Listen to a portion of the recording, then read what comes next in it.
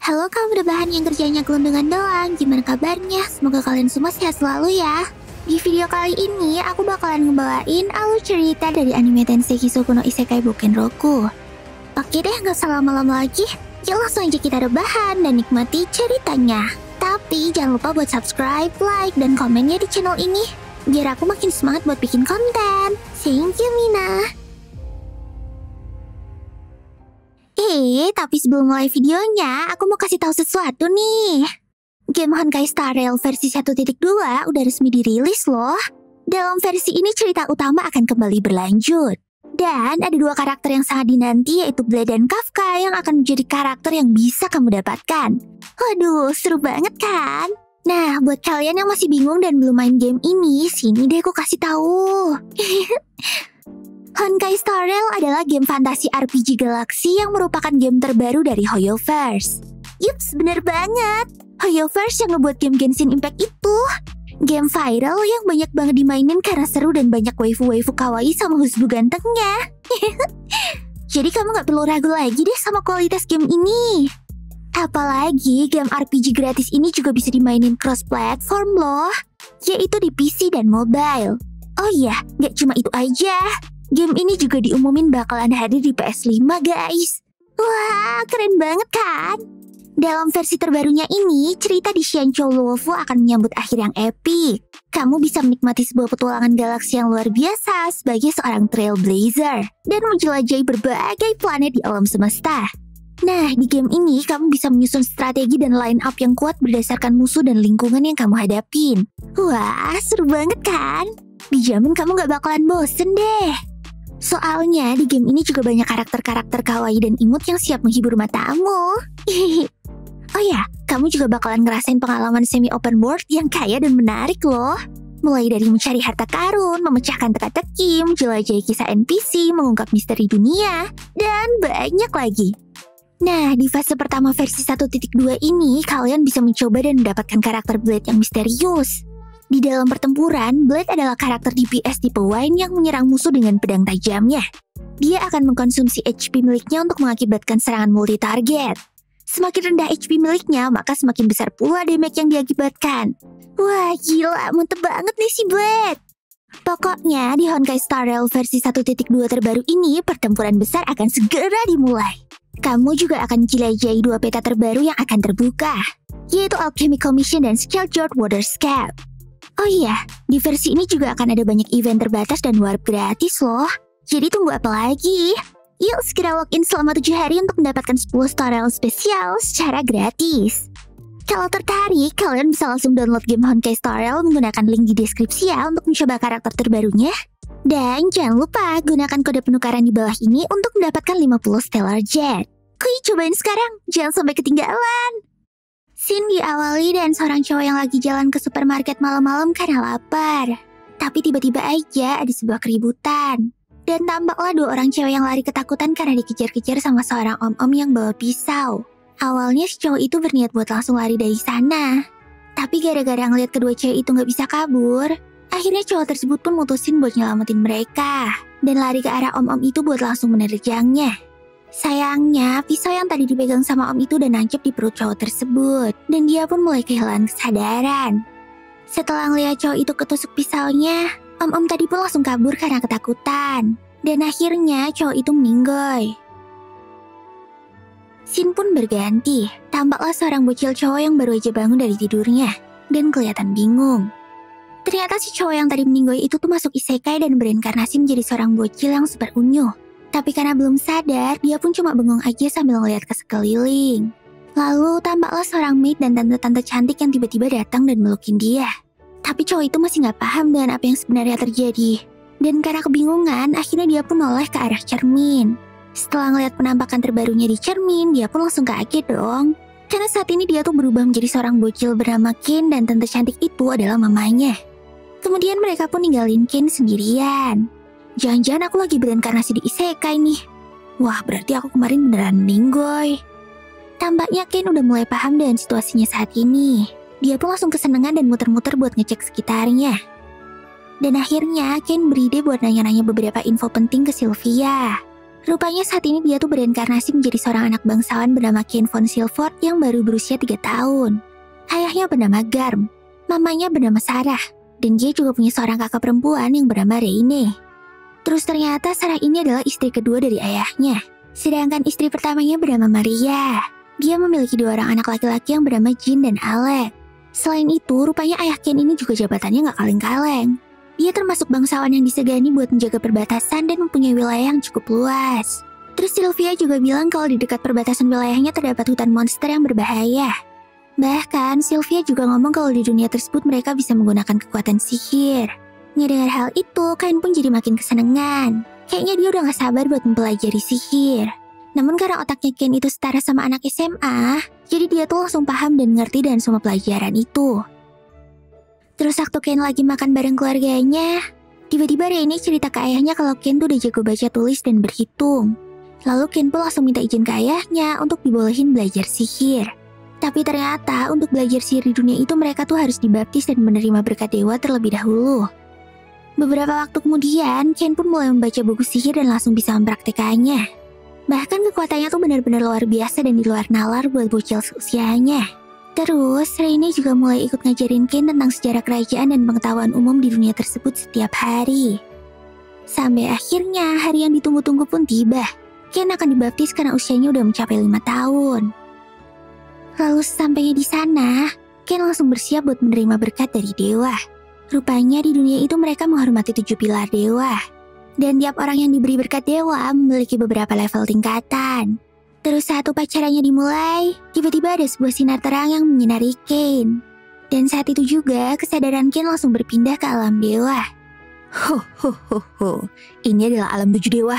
Kami sudah menunggumu Kane. Aku adalah Zenom, dewa yang menciptakan dunia ini. Kata seorang kakek berjanggut putih. Setelah itu, Dewa Raim yang menguasai siklus reinkarnasi langsung menjelasin situasi yang dialami sama Ken selama ini. Ternyata kemarin kematian Ken di bumi itu nggak terduga. Karena seharusnya tanpa Ken harus mati pun si om-om tersebut bakalan jatuh dan ditangkap warga. Tapi karena Ken meninggoy dengan niat baik, akhirnya Dewa Bumi pun meminta agar Ken direinkarnasi ke Isekai. Dan untuk menjaga ingatan Ken di dunia sebelumnya, Dewa Rem udah berusaha buat menyegelnya. Namun sayangnya secara tiba-tiba semua ingatan Ken itu kembali terbuka saat dia berusia 3 tahun. Ah nggak apa-apa kok, seharusnya aku yang berterima kasih pada kalian. Karena setelah ingatanku kembali, aku jadi bisa lebih cepat belajar tentang dunia ini. Aku juga hidup bahagia bersama keluargaku. Jawab Ken senang. Setelah mendengar semua itu, para dewa pun jadi tersentuh hatinya dan memberi berkah mereka. Eh, tapi nggak cuma satu dua dewa aja nggak sih? Melainkan semua dewa pada ikutan ngasih berkah mereka. Ngeliat hal itu, Ken pun langsung panik dong. Dia sadar kalau hal ini nggak bakalan bisa diterima dengan normal sama keluarganya. Akhirnya setelah para dewa selesai ngasih berkat, kesadaran Ken pun kembali. Karena sadar kalau dia bakalan kena masalah, Akhirnya Kane langsung kabur dan ngecek statusnya di luar. Ternyata benar, semua dewa ngasih berkat mereka ke Kane. Bahkan semua poinnya tuh sempurna. Kane mendapatkan berkat level 10 dari 7 dewa. Untungnya Dewa Zenom ngasih sebuah skill khusus yang ngebikin Ken bisa nyembunyiin status aslinya. Setelah itu, Ken pun langsung menemui semua orang dan nunjukin statusnya dengan santai. Tapi nggak disangka, setelah ngebaca status Ken, semua orang pun langsung kaget. Soalnya Ken mendapat berkat dari tujuh dewa. Dan bahkan jumlah mana yang dimiliki oleh Ken juga nggak normal. Karena status Ken benar-benar di luar nalar, ayahnya pun nyuruh Ken buat berhati-hati dan gak boleh nunjukin statusnya itu ke sembarang orang. Karena hal itu bisa berbahaya buat dirinya. Dan kalau sampai hal ini diketahui sama pihak kerajaan, keberadaan Ken bisa dianggap mengancam negara. Setelah capek ngobrol sama keluarganya, Ken pun ngebaca sebuah buku sihir tentang pemanggilan makhluk. Dan karena penasaran, Ken pun berusaha buat mencobanya. Sayangnya bukan makhluk imut yang muncul, tapi malah seekor monster ganas yang gede banget. Dan pada saat yang bersamaan, Reine sama Parma temannya ada di sana. Ken pun kaget dong. Akhirnya dia berusaha buat nyelamatin mereka berdua dan nyerang monster itu.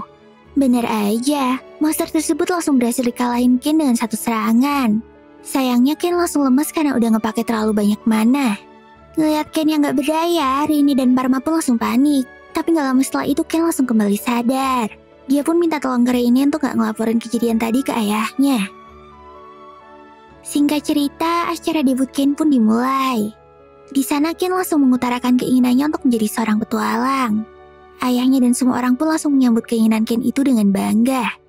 Lalu keesokan harinya, ayah Ken langsung mencarikan dua tutor petualang buat ngajarin Ken selama tiga tahun. Mereka adalah petualang tingkat D yang bernama Millie dan Nina. Setelah selesai memperkenalkan diri, pelatihan dasar untuk Ken pun dimulai. Awalnya Millie pengen ngajarin Ken tentang dasar-dasar ilmu berpedang. Tapi pas dicoba, ternyata Ken tuh udah jago banget. Bahkan Millie sampai capek buat ngeladenin Ken latih tanding. Kemudian Nina pun maju dan ngajarin Ken tentang dasar-dasar sihir. Tapi ya sama aja, Si Ken ini udah jago banget buat pakai sihir dasar tanpa rapalan. Melihat hal tersebut, mereka berdua langsung melongo dong. Akhirnya, Ken pun cerita kalau dia tuh dapat berkah dari Dewa Perang dan Dewa Sihir. Maka dari itulah, skill bertarung dan sihirnya tuh udah melampaui batas orang normal di usianya. Alhasil, mereka pun mulai ngebujuk ayah Ken biar dikasih izin. Ken harus mulai mempelajari sihir tingkat menengah, dan kami harus melakukan pelatihannya di luar mansion. Soalnya bisa-bisa mansion hancur karena latihan Ken kata Nina. Karena gak punya pilihan lain, ayah Ken pun ngizinin mereka asalkan Ken bisa menjaga diri. Kemudian mereka pun sampai di tempat latihan. Ken kelihatan senang banget karena ini adalah pertama kalinya dia keluar mansion sejak dibaptis kemarin. Terus pas nyobain sihir apinya, lagi-lagi Nina dibikin kaget. Gak lama setelah itu muncullah killer rabbit yang ngegangguin mereka. Tapi dengan mudah Ken bisa langsung ngalahin monster tersebut. Dan waktu Ken lagi asik ngelawan monster-monster itu, dia nggak sengaja hampir masuk ke dalam hutan. Ternyata itu adalah hutan monster. Setiap puluhan tahun sekali, para monster akan meluap dan menyerang kota. Maka dari itulah tembok kota dibuat sangat tebal dan kokoh untuk menahan serangan mereka. Terus ketika serangan tersebut terjadi, ayah Ken dan para petualang akan turun tangan untuk ngebasmi para monster. Lalu keesokan harinya, Ken, Millie, dan Nina datang ke guild buat ngecekin misi baru. Karena menurut mereka, Killer Rabbit itu udah terlalu mudah buat Kane. Makanya mereka nyoba nyari monster lain yang lebih kuat. Tapi waktu lagi ngobrol-ngobrol sama resepsionis Quill, tiba-tiba Nina dan Millie digangguin sama om-om petualang tingkat C yang rendahin mereka. Karena Ken gak terima, akhirnya dia pun turun tangan dan ngasih pelajaran ke om-om tersebut. Bener aja, dan kelincahannya Ken bisa ngalahin mereka dalam sekejap. Singkat cerita, tiga tahun pun berlalu. Saat ini Ken udah berusia 8 tahun dan kelihatan makin dewasa. Lalu tampaklah Sylvia yang lagi masuk kamar Ken sambil ngebawain beberapa pakaian. Setelah itu, Ken pun berinisiatif untuk kasih hadiah perpisahan buat Millie dan Nina. Malamnya dia langsung berburu monster ke dalam hutan. Ken pengen ngebikin sebuah tas sihir untuk mereka berdua. Dan dengan cepat, dia langsung nemuin Black Agar dan Earth Dragon untuk dijadiin bahan dasar. Tapi karena kekuatan Kane benar-benar gak ngotak, akhirnya para penjaga perbatasan pun melihat kobaran api dari arah hutan. Tanpa pikir panjang, mereka segera ngebunyiin lonceng untuk memperingatkan ayah Kane. Mereka mengira kalau itu adalah tanda luapan monster. Sementara Kane yang udah selesai berburu langsung teleport dan balik ke mansionnya. Lalu pada saat yang sama, ayah Ken langsung menyerbu ke arah hutan bersama pasukannya. Tapi pas sampai sana, hutan itu kelihatan sepi dan gak ada tanda-tanda monster sama sekali. Namun ada sebuah lubang besar bekas ledakan yang benar-benar misterius. Terus ayahnya Ken ngeliat ada sebuah sapu tangan yang ketinggalan di situ. Kemudian keesokan harinya, tampaklah Ken yang lagi bertarung lawan para serigala. Kayaknya itu adalah hari terakhirnya bersama Nina dan Millie. Dia pun langsung ngeluarin kedua tas sihir buatannya. Dan setelah ngasih tahu bahan dasar dari tas tersebut, mereka berdua langsung kaget. Ditambah lagi kapasitas tas itu juga benar-benar gede. Terus Ken juga ngasih tahu kalau tas itu cuma bisa dibawa sama mereka aja. Tapi karena Ken benar-benar tulus buat ngasihin hadiah itu, akhirnya mereka berdua pun berterima kasih dan menciumnya. Singkat cerita, umur Ken udah mencapai 10 tahun. Dan kali ini dia harus melakukan debutnya di ibu kota. Karena setelah berusia 12 tahun nanti, Ken akan mulai bersekolah di akademi. Ayah, kira-kira butuh berapa lama untuk sampai di ibu kota? Sekitar seminggu, kalau perjalanan kita lancar dan gak ada serangan monster. Jawab Garm. Setelah mendengar hal tersebut, Ken langsung beride buat memperketat penjagaan. Dia pun segera memakai sihir pencariannya buat ngecek keadaan sekitar. Dan benar aja, ternyata di depan ada pertarungan yang lumayan besar. Ken ngomong ke ayahnya kalau ada 10 orang yang diserang puluhan monster 3 kilo di depan mereka. Akhirnya Ken pun lompat dari keretanya dan berlari secepat kilat dan sihir anginnya. Bahkan, para kesatria utusan ayahnya itu nggak sadar kalau barusan Ken nyalip mereka. Sementara di area pertempuran, tampaklah dua orang satria yang tersisa. Mereka udah nggak bisa menyerang lagi dan dikeroyok sama puluhan monster. Untungnya Ken datang tepat waktu dan berhasil nyelamatin mereka. Bahkan Ken langsung ngalahin semua monster keroco yang ada di sana dengan ilmu sihirnya. Terus untuk yang terakhir, Ken harus berhadapan dengan monster yang paling gede. Dia pun segera ngeluarin pedangnya dan melawan monster tersebut. Lalu dengan menggunakan sihir api di pedangnya, Ken berhasil ngebunuh monster itu. Sementara dua kesatria yang tersisa tadi cuma bisa bengong aja ngeliat aksinya Ken. Kedua kesatria itu melarang Ken untuk mendekati kereta kuda yang dari tadi mereka lindungi. Sadar kalau para kesatria itu takut sama dia, tanpa basa-basi Ken pun segera memperkenalkan diri. Tapi tiba-tiba aja kesatria yang terluka itu jatuh. Kayaknya kondisi lukanya tuh benar-benar parah. Lalu dengan sat-sat, Ken langsung ngobatin mereka pakai sihir penyembuhnya. Ken juga ngebawa mayat para kesatria yang meninggoy ke dalam item boxnya. Kemudian setelah para kesatria itu sembuh, garam pun muncul. Ternyata kereta yang diserang sama para monster itu adalah kereta milik Duk Santana, seorang bangsawan yang penting di kerajaan. Lalu pada saat yang sama, pintu kereta pun terbuka, dan muncullah dua orang cewek cantik dari kereta tersebut. Mereka adalah Telestia dan Silk, yang merupakan putri mahkota dan putri Duk Santana. Kedua cewek itu pun berterima kasih kepada Ken dan Garam yang telah menyelamatkan mereka. Tapi tiba-tiba aja, Telestia kelihatan semboyongan. Kayaknya dia tuh kena mental setelah kejadian barusan. Dan dengan cepat, Ken langsung menawarkan diri buat menyihir mereka. Ken nawarin mereka si relaksasi yang bisa nenangin suasana hati dan jiwa. Saat itu juga, kedua cewek itu langsung balik lagi moodnya. Mereka kelihatan happy banget setelah disihir sama Kane. Bahkan, mereka berdua langsung manggil Kane dan sebutan Kane sama dan bersikap saling ngerebutin Kane. Celestia yang lihat kelakuan Silk itu juga gak mau kalah dan ikutan buat narik tangannya Kane. Alhasil Kane jadi makin bingung karena kelakuan dua cewek itu. Dan tanpa bisa nolak, kedua cewek itu langsung menculik Kane bersama mereka. Garam yang masih terheran-heran dengan kelakuan dua ciwi-ciwi itu cuma bisa melongo aja. Lalu dalam perjalanan, Ken kelihatan salting karena dipepet sama dua cewek cantik. Bahkan di dalam kereta Ken juga masih dijadiin bahan rebutan sama mereka. Terus, gak lama kemudian, salah satu ksatria ngabarin kalau sebentar lagi mereka bakalan sampai di kota Renoma. Dan sesampainya di sana, lagi-lagi Telestia dan Silk gak mau pisah sama Ken. Lebih absurdnya lagi, mereka berdua tuh malah nawarin Ken buat bobo bareng sama mereka. Ya jelas dong, Ken pun berusaha buat menolak permintaan itu. Begitu pula dengan Garm yang tiba-tiba muncul dan gak ngizinin hal tersebut. Tapi dengan keimutannya, kedua cewek itu berusaha maksa dan memohon agar mereka bisa bobo bareng Ken. Alhasil, Ken pun setuju buat bobo bareng mereka. Terus malamnya mereka pun bobo bareng. Tapi karena pengen lebih dekat sama Kane, akhirnya mereka berdua mepetin tempat tidurnya ke arah Kane. Bahkan mereka juga bobonya nempel-nempel sama Kane. Alhasil karena salting, si Kane pun malah jadi nggak bisa bobo sampai pagi. Paginya saat melanjutkan perjalanan, mata Kane kelihatan capek banget karena nggak bisa bobo. Singkat cerita, mereka pun sampai di ibu kota kerajaan. Lalu datanglah seorang cowok yang langsung menyapa Telestia dan Silk. Mereka berdua langsung kenalin Kane kepadanya. Cowok itu pun langsung berlutut dan memperkenalkan dirinya. Rupanya dia adalah Daim von Gazard, wakil komandan kesatria. Saat itu juga, Daim langsung berterima kasih kepada Ken karena udah menolong mereka. Kemudian Ken langsung ngeluarin semua mayat kesatria yang dibawanya untuk dimakamkan dengan layak. Daim juga cerita kalau biasanya mereka tuh cuma ngebawa barang-barang peninggalannya aja.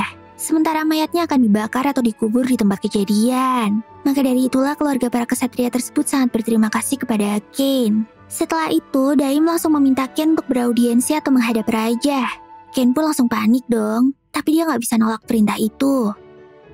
Akhirnya setelah sampai di kerajaan, Ken langsung disambut di hadapan para bangsawan dan berjalan di tengah-tengahnya. Mereka semua ngeliatin Ken dengan pandangan yang nggak ngenakin. Kayaknya mereka masih nggak percaya dan ngeremehin kemampuan Ken. Lalu, si penasihat raja segera ngumumin prestasinya Ken yang berhasil ngalahin 50 orc dan nyelamatin Celestia sama Silk sendirian. Mendengar hal tersebut, para bangsawan yang ada di sana langsung ribu dan gak percaya. Berkat prestasi dan jasanya, Ken diganjar dengan gelar baron serta 10 koin platinum dan sebuah mansion. Dan tiba-tiba aja ada seorang bangsawan yang maju ke hadapan raja. Tampaknya dia gak setuju dengan keputusan raja. Tunggu dulu, mustahil untuk memberinya gelar saat ini. Diam, Corgino. Memangnya kamu bisa membasmi orc sendirian kayak Ken? Bentak raja kesal. Karena nggak bisa ngejawab, Korjino pun langsung mati kutu dan mundur diri dari hadapan Raja. Setelah itu Raja langsung meminta Ken untuk menemuinya secara pribadi. Beberapa waktu kemudian, tampaklah Ken dan Garamnya lagi duduk di ruang tamu. Terus nggak lama Raja dan yang lainnya pun datang. termasuk Silk dan Celestia yang langsung senyum-senyum manja ke arah Ken. Sedangkan di sampingnya ada juga ayahnya Silk yaitu Eric Von Santana yang juga ikut berterima kasih kepada Ken karena udah nyelamatin Silk. Ken, maukah kau menikahi Celestia putriku dan Silk? Ken langsung kaget dong setelah ngedengar hal itu.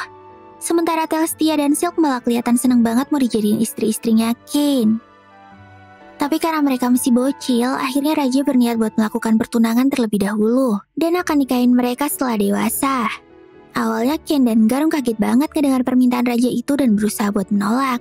Tapi karena Raja dan Erik benar-benar maksain, akhirnya Ken gak bisa berkutik lagi. Alhasil Ken pun diminta buat nikahin mereka berdua sekaligus. Apalagi Ken udah bergandengan tangan dan bobo bareng sama mereka berdua. Jadi Silk dan Celestia tuh udah gak bisa nikah sama orang selain sama Ken. Akhirnya karena gak punya pilihan lain, Ken pun menerima pertunangan itu. Baiklah, aku terima pertunangannya. Jawab Ken pasrah. Ah, aku gak bisa ngelupain hari saat kita menyatukan tubuh. Kata Silk dan Celestia kesenengan. Waktu ngedengar omongan absurd mereka, Raja dan Erik pun langsung kaget dong. Pasti mereka mikir kalau Ken udah enak-enak sama kedua putri cantik itu. Alhasil Ken pun dimarahin habis-habisan sama mereka. Karena gak bisa ngelak, akhirnya dia pun cuma bisa pasrah aja. Yang sabar ya, Ken. Lalu, kita diperlihatkan Ken yang lagi berdoa kepada para dewa. Terus pas masuk ke alam dewa, Ken pun langsung konsultasi tentang kondisi statusnya yang gak normal itu. Apalagi untuk ukuran manusia. Dewa Zenom juga mengakui kalau status Ken itu emang gak wajar. Dia pun langsung nawarin Ken untuk jadi setengah dewa, yang tingkatannya tuh setara dengan hewan suci dan naga suci. Setelah itu, Zeno minta Ken buat ngebikin game di dunia tersebut.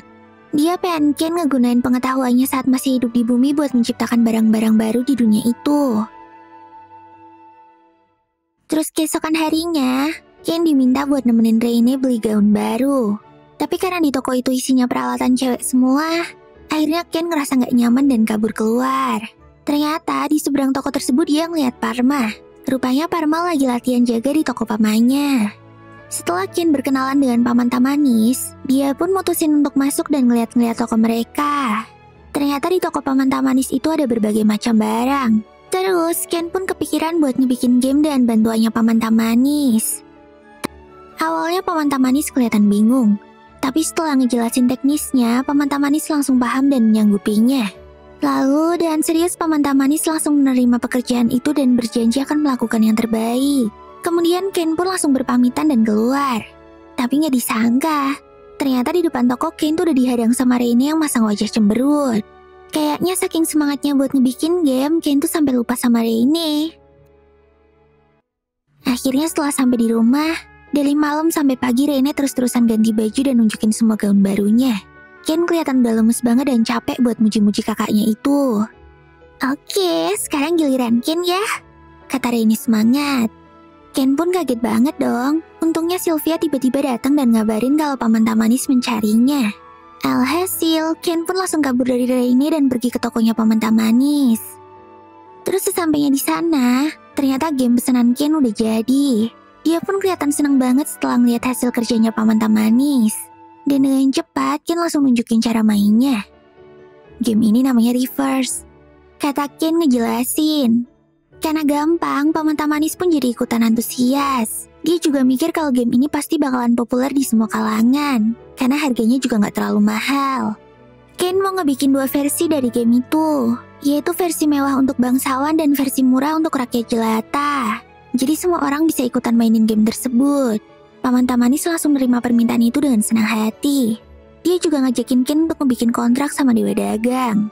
Karena dengan bersumpah di hadapan Dewa Dagang, maka barang yang mereka produksi itu nggak akan ada yang bisa menirunya selama tiga tahun. Setelah itu mereka berdua langsung melakukan kontrak dengan mempersembahkan game tersebut kepada Dewa Dagang. Dalam sekejap, game itu langsung menghilang. Kayaknya persembahan mereka udah diterima dan sampai ke alam dewa. Sementara di alam dewa, kita diliatin Dewa Zenom dan Dewa Dagang yang lagi mainin gamenya Ken. Kayaknya mereka kelihatan senang banget karena punya mainan baru. Setelah itu Ken pun pulang ke rumah, tapi Sylvia kelihatan panik banget waktu ngeliat kedatangannya Ken. Ken sama dari mana aja sih? Pesta debutnya udah hampir mulai loh. Ken pun langsung keinget sama pesta debutnya dan buru-buru berangkat. Lalu sesampainya di sana, Ken langsung kenalan sama Silk secara resmi. Eric juga berterima kasih atas bantuan Ken kemarin. Tapi entah kenapa, senyuman Eric yang nyeremin itu ngebikin Ken jadi bergidik ngeri. Hihi. Terus pas ngeliat Silk yang cantik banget, Ken pun jadi gak tahan buat ngegombalin dia. Gak lama kemudian Raja muncul dan disambut dengan meriah. Lalu mereka pun menyapa Raja secara bergantian. Sampai akhirnya giliran Ken dan keluarganya pun tiba. Rupanya game reverse versi mewah yang Ken pesen udah siap buat dikasihin ke Raja. Raja pun menerimanya dengan senang hati. Setelah itu Garam pun mutusin buat berkeliling. Dia juga berpesan agar Ken membaur sama anak-anak lain dan bersikap layaknya anak normal. Tapi tiba-tiba aja Silk mendatangin Ken dan ngajakin ngobrol. Mereka berdua pun mesra-mesraan sambil nongki-nongki santuy. Tapi nggak disangka, Seorang bocil nyebelin dan dua pengikutnya datang buat ngegodain Sil. Ternyata dia adalah Habib, anaknya bangsawan Corgino yang kemarin gak setuju sama penobatannya Ken. Terus setelah Ken berkenalan sama mereka, kedua pengikut ini semakin ngejek-ngejek Ken karena dikiranya dia adalah anak seorang baron. Mereka pun maksa Ken untuk bersikap hormat kepada Habib. Silk langsung marah dong. Dia gak terima kalau Ken diremehin. Tapi Ken tetap nyantui dan menanggapinya dengan tenang. Tapi si Habib malah marah dan nantangin Ken untuk berduel di luar. Alhasil Ken pun ngeladenin permintaannya. Silk juga ikut ngintilin Ken dan nempel terus sama dia. Bahkan si Habib sampai kesel banget melihat mereka berdua yang mesra-mesraan terus. Akhirnya, salah satu pengikutnya Habib maju dan mulai nunjukin bakat sihirnya. Tapi setelah nari-nari aneh dan ngebaca mantra, ternyata fireball yang dia keluarin itu kecil banget. Ken pun melihatnya sampai terheran-heran. Terus karena serangan pertama itu nggak ngefek apa-apa, akhirnya pengikut yang satunya ikutan turun tangan. Dia juga nari-nari aneh dan ngebaca mantra. Tapi sayangnya, stun bullet yang muncul juga nggak kalah kecil. Ken sama Silk cuma bisa melongo doang ngeliat serangannya nggak guna itu. Akhirnya karena kesel, Silk pun langsung ngejelasin ke mereka kalau Ken itu bukanlah anak Baron. Dia adalah orang yang menolongku dan Putri Telestia saat diserang kawanan orc. Ngedengar hal tersebut, mereka bertiga langsung kaget dong. Tanpa basa-basi mereka langsung bersujud dan minta maaf sama Kane. Lalu setelah mereka bertiga kabur, Silk langsung ngegodain Kane. Kayaknya Silk sadar kalau Kane ini sengaja ngerjain mereka bertiga. Akhirnya Silk janji akan merahasiakan hal itu asalkan Ken mau berkencan dengannya. Tapi belum sempat ngejawab, Telestia udah muncul dan menghampiri mereka. Karena penasaran, Telestia pun maksain Silk buat ngomong. Dan akhirnya Silk cerita kalau Ken itu mengajaknya berkencan. Saat itu juga Telestia langsung ngambek dong. Tapi bukannya jadi seram. Mukanya Telestia itu malah jadi makin imut. Terus karena nggak tega, akhirnya Ken juga ngajakin Telestia. Teles pun kesenengan, tapi tiba-tiba aja Raja muncul dan ngedengar semua pembicaraan mereka. Dengan wajah seremnya Raja langsung ngajakin Ken buat ngobrol antar pria. Kena deh, semangat ya Ken. Terus keesokan harinya, Tambahlah Ken yang lagi dikasih kunci mansion barunya. Si Perdana Menteri juga ngomong kalau Raja tuh sangat menyukai game reverse yang dikasih sama Ken kemarin. Bahkan mereka tuh sampai kesulitan buat ngebikin Raja berhenti main. Setelah ngedengar hal tersebut, Ken pun jadi ngerasa lega. Singkat cerita, Ken pun selesai main dan sampai di mansion barunya. Ternyata kondisi mansion itu benar-benar bobrok dan gak terawat. Bahkan keadaannya juga kotor banget. Mulai dari lampunya yang mati, dapur berantakan, sampai beberapa perabotan yang kelihatannya udah reot dan rusak. Tapi karena Ken OP banget dan serba bisa, jadinya kondisi kayak gitu mah gak ada apa-apanya buat dia. Dalam sekejap, Ken langsung ngeberesin dan ngebenerin mansion itu dengan sihirnya. Tempat yang tadinya kotor dan terbengkalai itu tiba-tiba berubah jadi mewah dan nyaman banget. Gak lama kemudian, Sylvia dan pelayan lainnya datang. Rupanya mereka akan ikut sama Ken dan jadi pelayan di mansion itu. Terus ada juga satu orang pelayan cowok baru yang bernama Kolan. Lalu Sylvia dan yang lainnya langsung satset buat ngurusin barang pindahannya Ken. Sedangkan Ken segera balik ke mansion ayahnya buat ketemu Jin dan Alec yang baru pulang. Sesampainya di sana, mereka pun langsung makan malam sambil ngobrol-ngobrol. Alec dan Jin kelihatannya bangga banget sama pencapaiannya Ken. Tapi kayaknya mereka juga udah tahu kalau mansion yang didapetin Ken itu udah bobrok dan tua. Bahkan Rainy juga ditakut-takutin buat main ke sana.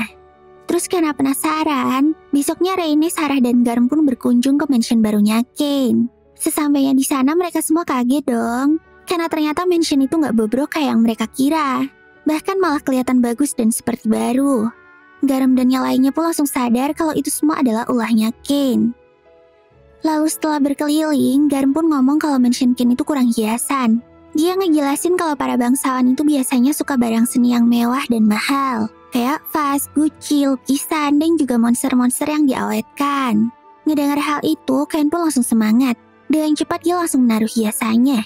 Tapi nggak lama setelah itu, Sylvia dan yang lainnya teriak-teriak ketakutan. Garam langsung panik dong. Mereka segera ngecek sumber keributan itu. Dan ternyata Ken naruh monster naga merah yang udah diawetin sebagai pajangan di mansionnya. Garam juga gak kalah kagetnya. Dia bahkan gak tahu kapan Ken ngeburu naga itu. Apalagi naga merah itu juga udah termasuk monster kelas bencana. Kebanyakan party petualang tingkat A juga gak ada yang bisa ngalahin naga merah itu tanpa adanya korban. Akhirnya Ken pun cerita kalau dia ngalahin naga itu sendirian waktu lagi berburu di hutan. Karena udah gak kaget sama kelakuan Ken, Garam pun cuma nyuruh Ken buat ngejelasin hal itu sama para pelayannya. Terus, Garam juga ngomong kalau hiasan naga itu ternyata cukup bagus. Lalu, tiba-tiba aja Reni dan Sarah teriak-teriak di toilet. Ken sama Garam yang panik langsung nyamperin ke sana dong. Walah, ternyata mereka tuh kaget sama model toiletnya Ken yang ada air nyemprotnya toh. Kayaknya mereka berdua kesenangan dan langsung minta Ken buat ngebikinin toilet itu di rumah. Terus Ken pun ngejelasin kalau dia tuh ngebikin toilet itu pakai sirih airnya. Ken, para tamu bisa seneng loh, kata Garm. Eh, para tamu? Karena Ken kelihatan bingung, Garm pun langsung ngejelasin kalau bangsawan baru yang punya mansion itu harus melakukan pesta debu dan menjamu para bangsawan lain di mansion barunya. Malamnya Ken kelihatan bingung banget buat nyiapin pesta debutnya. Terus karena Raja cuma bisa diundang sama bangsawan kelas atas, akhirnya Ken mutusin buat gak ngirim undangan ke Raja. Ken pun langsung dapat ide buat nyiapin sebuah gelas cantik untuk dikasihin ke para bangsawan. Sylvia langsung kesenangan waktu ngeliat gelas lucu itu. Besoknya, Ken pun langsung ke dapur buat nyiapin contoh sake sama hidangan buat jamuan besok. Setelah selesai, Ken meminta Sylvia buat mencobanya. Waktu nyobain stick hamburg itu, Sylvia langsung keenakan. Ditambah lagi ada sake spesial buatan Ken. Sylvia heran dong, karena ternyata rasa minuman aneh itu enak banget. Akhirnya Ken ngejelasin, karena dia belum boleh minum sake, Ken pun ngebikin wine yang dicampur sama bui-bui soda pakai sihirnya. Jadi rasa wine-nya pun jadi makin segar dan cocok banget buat diminum sambil makan stick hamburg. Terus, tiba-tiba aja Kolan datang dan ngabarin kalau ada rombongan dari istana yang berkunjung. Ternyata itu adalah sang raja. Dia datang karena kemarin gak dapat surat undangan dari Ken. Kayaknya raja ngambek karena dia ngerasa gak diundang dan dilupain. Tapi dengan skill ngelesnya, Ken langsung ngejawab kalau dia pengen ngasih undangannya secara langsung. Raja pun kelihatan seneng, karena ternyata dari kemarin dia tuh diejek-ejek sama Eric karena nggak diundang di pesta debutnya Ken. Ngeliat Raja yang kesenengan, Ken pun lega karena udah nyiapin surat undangan sebelum menemuinya. Besok malamnya pesta debut Ken pun dimulai. Tampaklah Garam sama Ken yang lagi menyambut Eric dan Silk. Bener aja dong, mereka langsung kaget waktu ngeliat naga merah yang dipajang sama Ken. Lalu Ken pun langsung ngasih sambutan ke semua tamu-tamunya. Setelah nyobain sparkling wine bikinan Ken, garam dan yang lainnya kelihatan seneng banget. Apalagi gelas cantik bikinan Ken itu juga ngebikin mereka jadi tertarik. Bahkan, makanan enak yang udah disiapin sama Ken juga ngebikin Rene dan Sil kayak enakan makan. Terus nggak lama setelah itu, Raja dan keluarganya datang. Ekspresi mereka juga kesenangan waktu nyobain sparkling wine bikinan Ken. Apalagi stick hamburgnya juga enak banget dan ngebuat Raja makin ketagihan. Dan bener aja, dia langsung kesenangan dan muji-muji Kane. Bahkan Raja juga ngomong di depan orang-orang kalau pelayanan Kane ini adalah pelayanan terbaik yang pernah dia terima. Semua orang pun langsung bertepuk tangan buat Kane. Terus pada saat yang sama, Kolan ngasih tahu Ken kalau Marquis Corgino udah datang. Pada saat itu juga, Ken langsung ke depan buat menyambutnya. Tapi ya gitu, si Corgino ini emang benar-benar sombong dan sok-sokan. Karena kesel, Ken pun diam aja dan sengaja nggak ngasih tahu tentang hiasan naga yang ada di dalam aulanya. Saat itu juga, Corgino langsung kaget dan ketakutan dong. Ken pun cuma bisa ketawa-ketawa aja dalam hati. Terus waktu nyobain minuman Ken, dia juga kesenangan tapi pura-pura nggak doyan. Bahkan waktu makan stick hamburgnya juga sama. Si Corgino ini sok-sokan hue-hue di depan Ken padahal dia keenakan. Ngeliat kelakuannya yang nyebelin itu, Ken pun jadi makin kesel dong. Tapi bukan Ken namanya kalau nggak punya ide nakal. Si Ken ini langsung nyiapin hadiah gelas cantiknya buat Corgino. Corgino langsung kesenengan dong. Dan dengan seenak jidatnya dia langsung minta semua sake dan gelas cantik itu buat dikirim ke rumahnya. Ken pun langsung nolak permintaan itu dengan sopan dan nawarin hadiah lain. Sambil nawarin hadiahnya, Ken pakai sihir deteksinya buat memantau posisi raja. Terus Ken pun ngomong kalau dia mau ngasih hadiah yang terbesar di kerajaan itu. Lalu pada saat yang sama, Raja berdiri tepat di belakangnya Ken. Alhasil Corgino pun langsung berhadapan sama Raja. Dan saat itu giliran si Corgino yang dibully habis-habisan sama Eric dan Raja. Karena kaget bukan main, akhirnya Corgino pun langsung minta maaf dan kabur dari pesta itu. Terus Silk yang sadar kalau Ken udah ngatur itu semua pun langsung datengin Ken.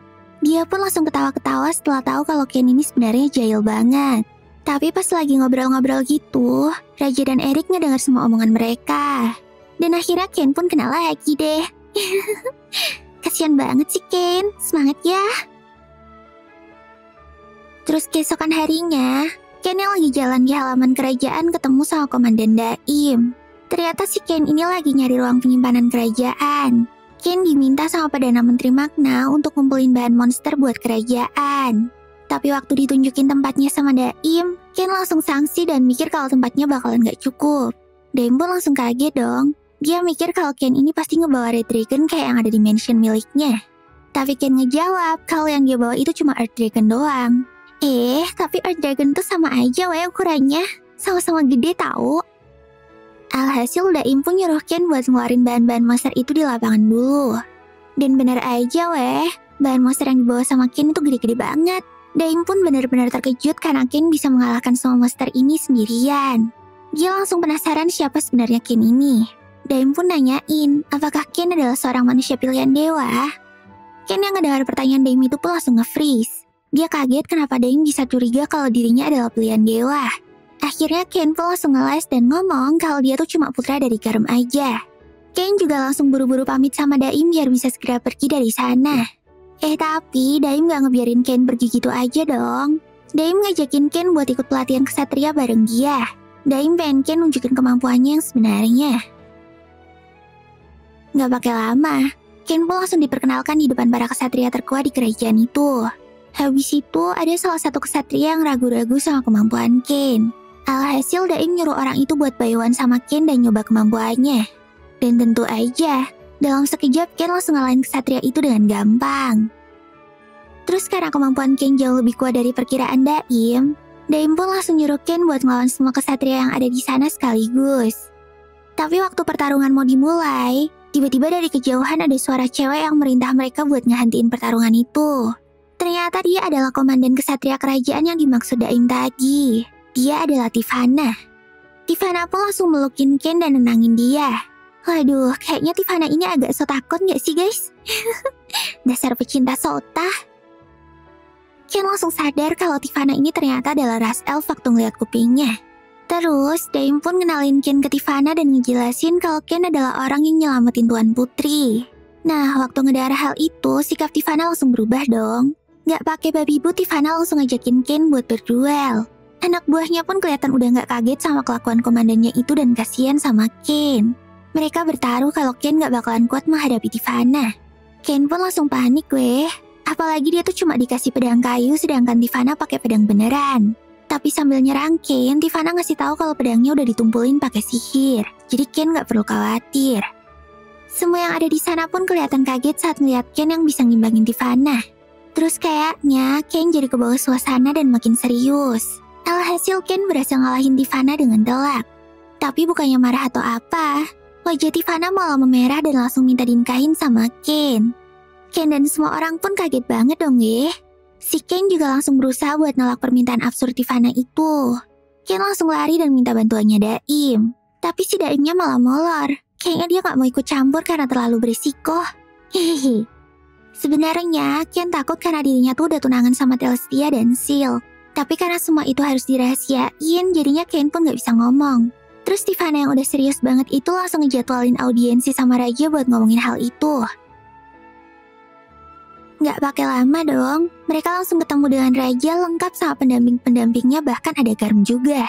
Alhasil, mereka semua kaget banget waktu Tivana ngomong kalau dia mau nikahin Ken. Ken pun langsung ngejelasin awal mula kejadian kenapa bisa kayak gitu. Garum lalu ngasih tahu Ken kalau Tivana ini bukanlah orang sembarangan. Dia adalah putri dari kerajaan elf yang diberi hak istimewa oleh raja pertama di kerajaan itu. Jadi, karena bangsa elf itu sering diculik dan diperbudak, raja pertama yang bernama Yuya Hirasawa itu ngasih mereka perlindungan khusus. Huh, nama rajanya kok agak aneh ya guys? Terus Raja juga ngasih tahu Tivana kalau Ken ini tuh udah tunangan sama Telestia dan Seal. Harapannya tuh biar Tivana ngurungin niatnya untuk nikah sama Ken.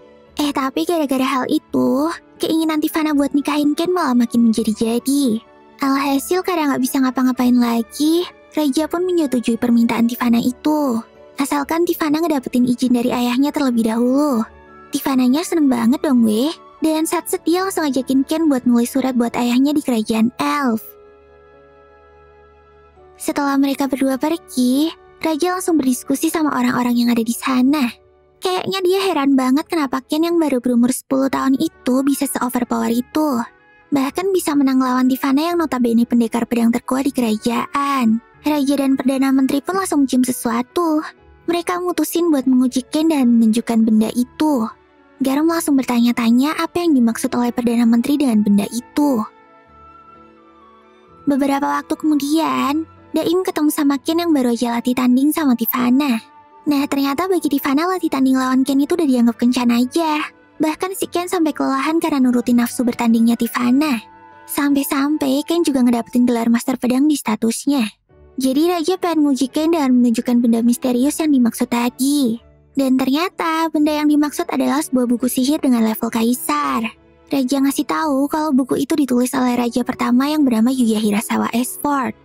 Ken yang emang senang banget buat belajar itu langsung kesenangan dong saat dikasih buku itu. Tanpa babi bu, Ken langsung ngebuka buku tadi dan ngebacanya. Ken langsung takjub sama sihir-sihir yang tertulis di buku itu.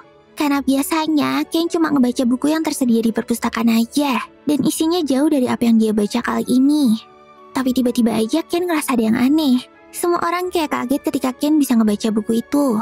Raja pun ngomong kalau nggak ada orang di kerajaan itu yang bisa ngebaca buku tersebut kecuali raja pertama. Ternyata setelah diteliti sama Ken, huruf yang tertulis di buku itu adalah bahasa Jepang. Ya jelas lah, orang-orang di kerajaan gak ada yang bisa ngebaca. Ken pun langsung sadar kalau raja pertama itu sama kayak dirinya, yaitu orang yang datang ke dunia itu dengan cara reinkarnasi. Akhirnya raja pun mendesak Ken untuk jujur tentang jati dirinya. Karena udah gak bisa ngelak lagi, Ken pun akhirnya ngomong apa adanya. Ken ngaku kalau dia memiliki ingatan dari kehidupannya terdahulu. Dan kehidupan itu sama dengan milik raja pertama yaitu di negara yang bernama Jepang. Semua orang yang ada di sana langsung kaget dong, termasuk garam ayahnya. Gak pakai lama, Raja langsung minta Ken buat nunjukin statusnya yang asli. Dan mereka kaget banget saat melihat status Ken yang udah mentok semua itu. Bahkan hampir menyamai kekuatan dewa. Raja pun langsung lemes dong weh. Karena dengan status yang dimiliki Ken itu, harusnya semua orang di dunia ini berlutut di depannya dan menyembahnya. Karena itulah takdir seorang pilihan dewa. Ngedengar perkataan Raja, Ken pun langsung panik. Dia ngomong kalau Ken gak menginginkan hal itu. Ken juga ngomong kalau dia tuh udah seneng dengan kehidupannya yang sekarang. Dia bersyukur bisa menjadi putra Garm dan bertemu sama orang-orang baik seperti Raja dan yang lainnya. Ken pun memohon kepada Raja untuk merahasiakan semua ini dan memperlakukan dirinya seperti biasanya. Raja pun mengabulkan permintaan Ken itu, tapi Raja juga nambahin kalau harusnya Ken aja yang menjadi Raja menggantikan dia. Ken pun langsung kaget banget dong, tapi belum sempat dia ngejawab, Tivana tiba-tiba masuk dan ngasih tahu kalau proposal pernikahannya tuh udah disetujui sama ayahnya, Raja Bangsa Elf. Habis itu Tivana langsung manggil Ken dan sebutan suamiku dan ngajakin Ken buat kencan lagi. Atau ya bisa dibilang latih tanding pedang lagi gitu. ya sabar ya Ken. Terus keesokan harinya, tampaklah Ken yang lagi asik ngebaca bukunya Raja Yuya di perpustakaan. Ternyata awalnya si Yuya ini meninggoy karena sebuah kecelakaan di Jepang dan tiba-tiba berpindah ke dunia ini. Yang artinya Yuya datang ke dunia tersebut menggunakan tubuh aslinya. Sementara Ken datang ke sana dengan cara berinkarnasi. Tapi tiba-tiba aja pas lagi asik-asiknya ngebaca buku, Telestia dan Silk datang buat ngegangguin Ken. Mereka berdua ngira kalau Ken tuh lagi belajar buat ujian masuk akademi. Dan tanpa babi bu lagi, si Teles sama Silk langsung ngajakin Ken buat belajar bareng. Namun kayaknya Ken udah punya rencana lain, dan dia pun langsung nolak ajakan mereka berdua sambil kabur dari sana. Sayangnya waktu Ken lagi jalan, Tiba-tiba dia malah ketemu sama Tivana yang ngajakin Ken buat latih tanding di luar ibu kota. Ken yang emang ogah dan butuh me time itu langsung menghindar dan lari. Terus keesokan harinya, tampaklah Ken yang udah berpakaian rapi dan armor kulitnya. Rupanya ini adalah hari ulang tahun Ken yang ke-12, di mana dia udah bisa mendaftarkan diri sebagai seorang petualang. Alhasil tanpa pikir panjang lagi, Ken pun langsung pergi ke kuil petualang yang ada di kota untuk mendaftarkan dirinya. Lalu sesampainya di sana, Ken ketemu sama seorang petualang berambut merah yang tiba-tiba menyapanya.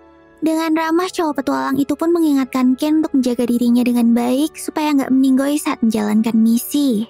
Kemudian Ken pun langsung pergi ke resepsionis guild dan mengisi formulirnya. Setelah itu dia pun segera meneteskan darahnya ke sebuah kristal yang langsung mencetak kartu guildnya Ken. Karena baru daftar, jadinya Ken mendapatkan kartu petualang dengan rank yang terendah. Terus waktu lagi ngobrol-ngobrol sama cewek resepsionis yang bernama Retia itu, tiba-tiba aja ada sekelompok petualang ngeselin yang ngegodain Retia. Ken yang kesel sama mereka langsung pasang badan dong. Tapi para petualang kroco itu tetap ngotot dan malah nantangin Ken. Alhasil Ken pun ngeladenin mereka dan bisa menghindari serangan-serangan itu dengan mudah. Karena emosi, mereka semua pun berniat buat ngeroyokin Ken lagi. Tapi tiba-tiba aja petualang berambut merah tadi muncul lagi dan ngemarahin para petualang kroco itu. Ternyata dia adalah Cloud si APS. Mereka pun langsung ketakutan dong waktu diancam sama Cloud dan langsung pergi dari sana. Setelah itu, Cloud yang sadar kalau Ken ini kekuatannya nggak kaleng-kaleng langsung ngajakin dia buat ngobrol sambil minum-minum. Ken pun mau-mau aja dan langsung duduk sambil berkenalan dengannya. Kemudian Cloud pun mengakui kalau dirinya itu adalah petualang kelas A dan nunjukin kartu guildnya yang berwarna keemasan. Si Ken kesenengan dong, dia juga pengen punya kartu guild yang keren kayak gitu. Tapi Cloud juga ngomong kalau yang paling keren adalah Raja Pertama. Karena dia adalah seorang petualang dengan level triple S yang memiliki kartu guild berwarna hitam. Ternyata si Cloud ini tuh punya party bersama istrinya yang diberi nama APS. Nah, istrinya Cloud itu merupakan pengguna sihir S sementara Cloud sendiri adalah pengguna pedang api. Maka dari itulah dua mereka disebut sebagai APS. Tapi pada saat yang sama, tiba-tiba aja ada seorang cewek yang datang nyamperin mereka dan mukulin kepalanya Cloud.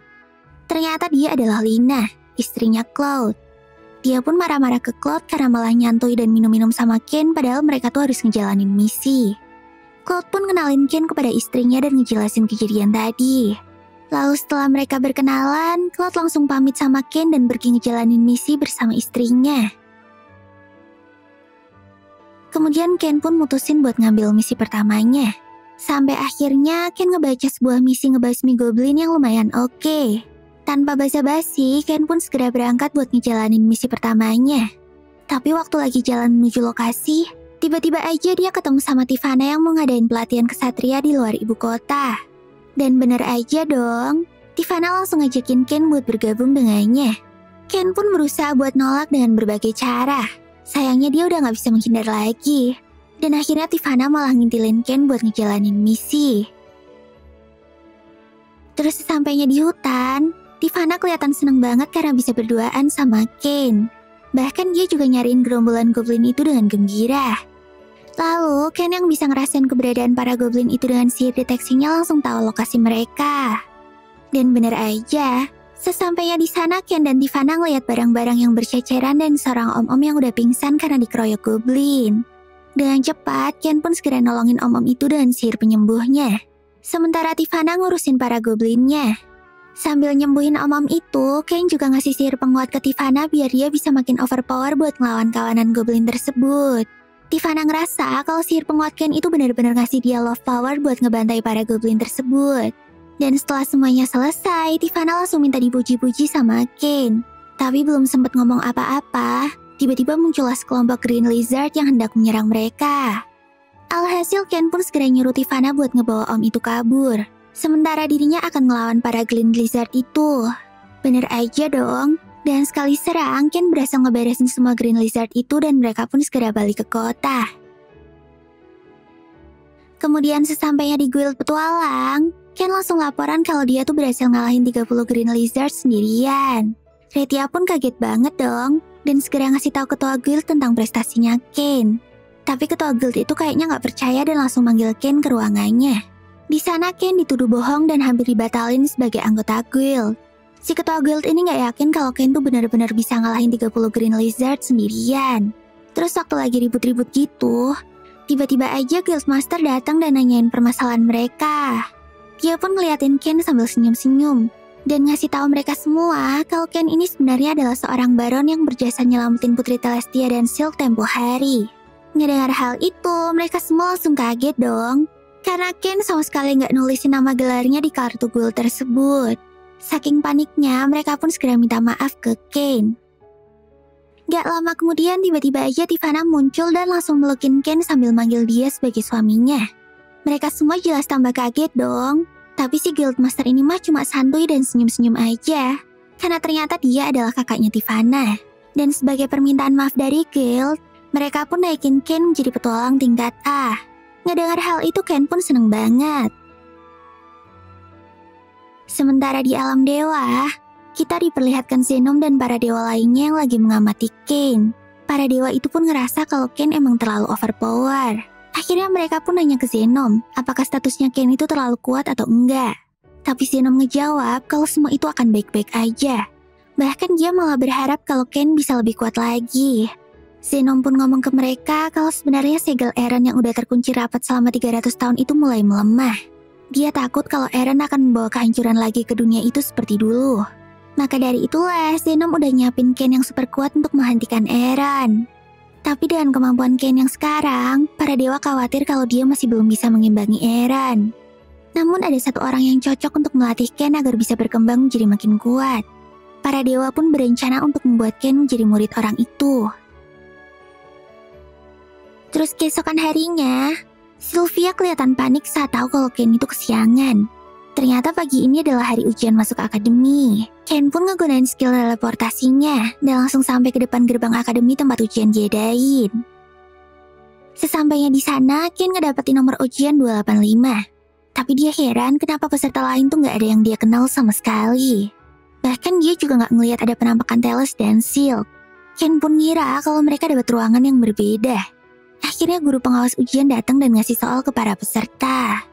Ken pun seneng banget saat tahu kalau ada ujian baca dan berhitung. Karena dengan ingatan masa lalunya, soal kayak gitu jadi gampang banget. Alhasil belum ada setengah jalan, Ken pun udah selesai dan langsung nyantai-nyantai. Selesai ujian tertulis, Ken pun harus menjalani tes kekuatan sihir. Para peserta diharusin buat ngelempar sihir terkuatnya ke arah target yang ditentuin. Pengawas ngomong kalau di sekitar akademi itu udah dipasang pelindung anti sihir. Jadi mereka aman buat ngeluarin sihir sekuat apa pun. Lalu beberapa peserta maju terlebih dahulu. Tapi ya gitu, sihir mereka tuh cuma selevel anak-anak umur 12 tahun pada umumnya. Ken pun langsung nyadar kalau kayaknya dia tuh gak perlu ngeluarin sihir Inferno buat lulus di ujian kali ini. Ya iyalah Ken, emangnya kamu tuh mau menghancurin satu akademi ha? Hehehe, dasar. Nah, akhirnya giliran Ken pun tiba. Ken mutusin buat ngeluarin sihir serangan dasar aja kayak teman-temannya. Tapi sama aja dong. Walaupun sihir dasar, tapi kekuatan Ken itu benar-benar nggak ngotak. Jadi deh, tembok akademi yang katanya udah ada pelindung sihirnya itu jebol parah. Dan karena tempat ujiannya udah nggak bisa dipakai, peserta ujian langsung disuruh cus ke ujian berikutnya yaitu ujian pedang. Nah, di ujian pedang itu ternyata akademi udah ngundang tamu spesial, yaitu petualang rank A dari guild setempat. Dan Ken mengenali salah satu dari petualang itu. Yip, bener banget. Ternyata salah satu dari mereka adalah Cloud. Cloud yang kaget dengan kehadiran Ken itu langsung kesenengan. Dia pun ngajakin Ken buat jadi partner latih tandingnya. Awalnya Ken mencoba menolak, tapi pengawas mengharuskan Ken buat menghadapi Cloud kalau mau lulus ujian. Akhirnya kadang ada pilihan lain, Ken pun harus menghadapi Cloud di duel pedang. Karena Ken ngerasa kalau Cloud ini cukup kuat, dia pun langsung menggunakan sihir busnya buat menyerang Cloud. Bahkan Cloud ngomong kalau Ken ini jauh lebih kuat daripada semua penguji yang ada di sana. Lalu Cloud juga menggunakan sihir busnya biar bisa mengimbangi Ken. Tapi waktu lagi asik bertarung, pengawas ujian tiba-tiba langsung marah-marah dan ngehantiin mereka. Pengawas itu ngomong kalau pertarungan mereka sehebat itu bisa-bisa anak-anak yang lain kena mental dan kehilangan semangat mereka.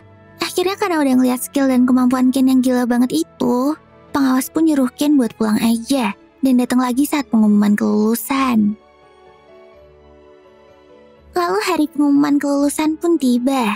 Saat lagi nyari-nyari namanya di papan kelulusan, Silk tiba-tiba datang dan ngasih tahu kalau Ken ini jadi yang nomor satu di ujian masuk.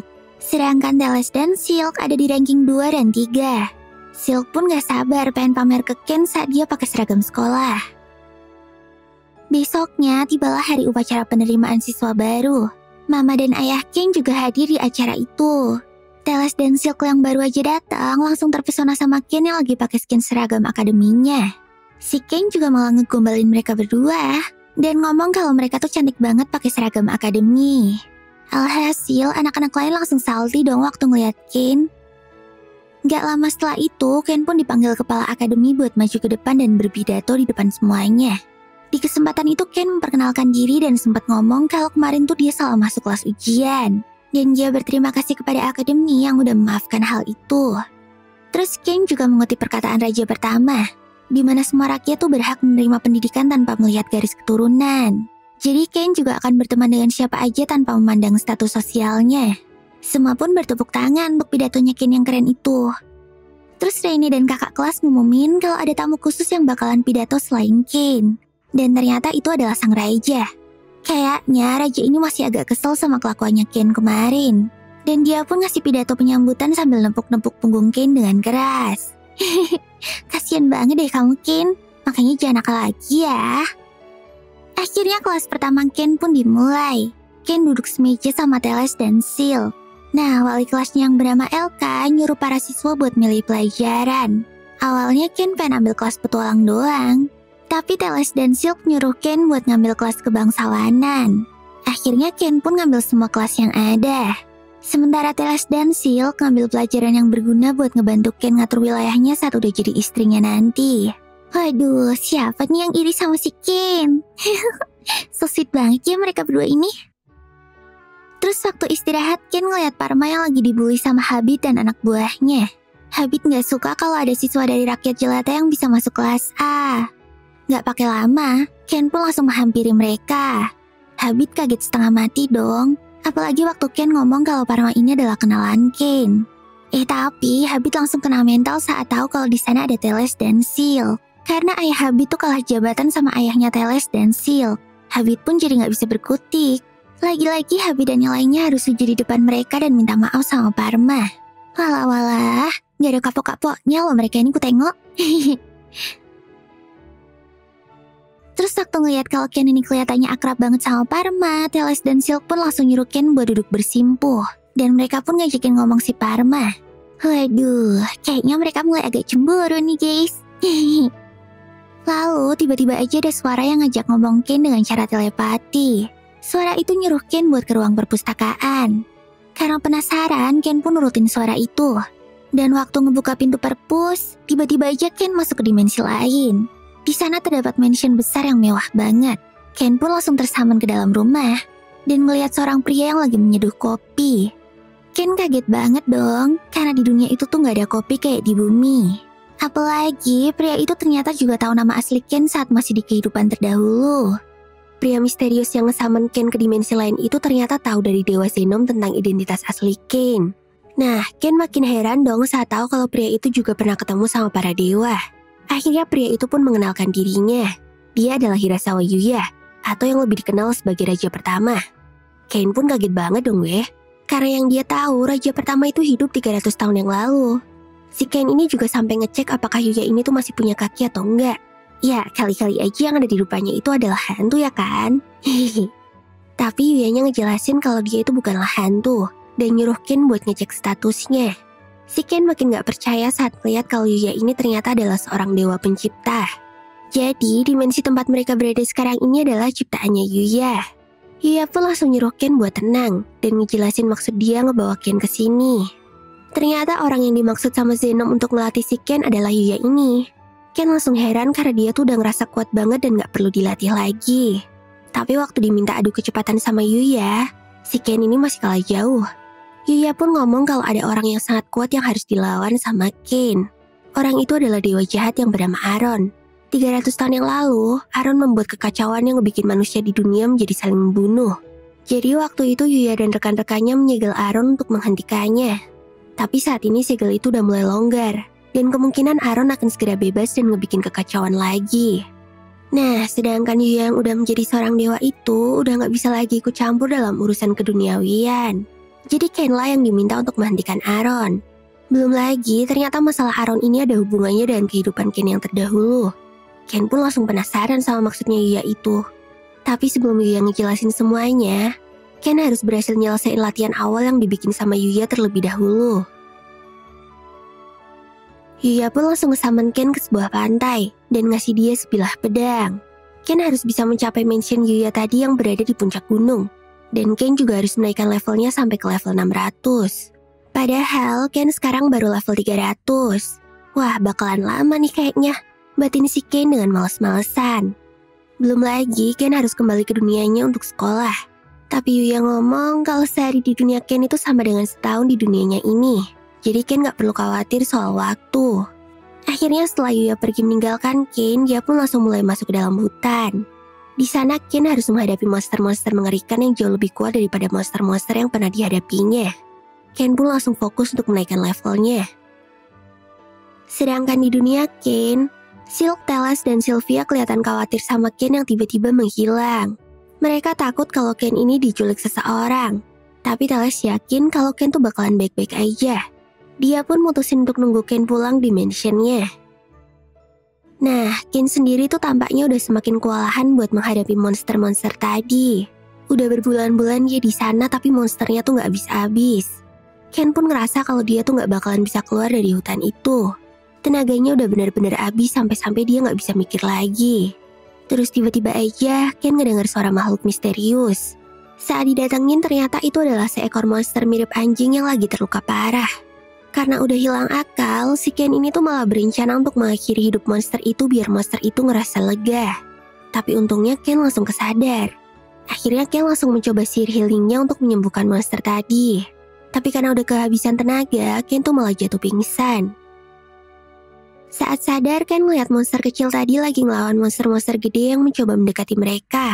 Ternyata monster itu mencoba melindungi Ken. Akhirnya mereka pun jadi berteman dan Ken memanggil monster itu dengan nama Haku. Dengan bantuan Haku, akhirnya Ken pun menemukan semangatnya kembali untuk menyelesaikan latihannya itu. Lalu bertahun-tahun kemudian, Ken pun berhasil mencapai mansionnya Yuya lagi. Ken kelihatan makin dewasa dan rambutnya udah panjang. Waduh, ganteng banget ya guys ya kalau Ken udah gede kayak gini. Hehehe. Ternyata Ken ini menghabiskan waktu 4 tahun untuk mencapai mansion itu. Terus Yuya ngasih tahu kalau ternyata si Haku ini adalah hewan suci yang disebut Fenrir. Dan Ken bisa ngebuat kontrak untuk ngesamen Haku. Habis itu Yuya pun ngenalin orang yang bernama Doran ke Ken. Nah, si Doran ini yang bakalan ngajarin Ken ilmu pedang dan bela diri. Tapi sebelum melanjutin latihannya, Ken lagi janji ke Yuya untuk bercerita tentang hubungan Aaron dengan kehidupan masa lalunya Ken. Yuya pun setuju untuk menceritakan semuanya sebelum Ken berangkat. Singkat cerita, Ken pun mulai berlatih tanding dengan Doran. Doran ngomong kalau Yuya tuh lebih kuat darinya. Sedangkan Aaron jauh lebih kuat dari Yuya. Jadi jalan Ken tuh masih jauh dan sangat berat untuk bisa ngalahin Aaron.